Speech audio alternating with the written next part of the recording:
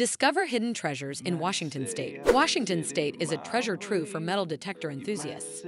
With over 30 state parks open for metal detecting, there are countless discoveries waiting to be made. From gold prospecting to uncovering ancient relics, Washington State offers numerous opportunities for adventure.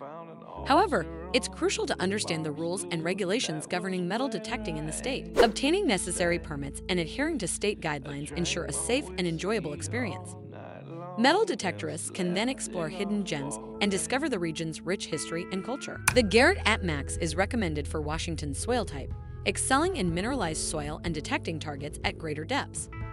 Gold prospecting is especially popular in Washington. Metal detecting regulations vary by park, so it's important to check the latest rules before you start.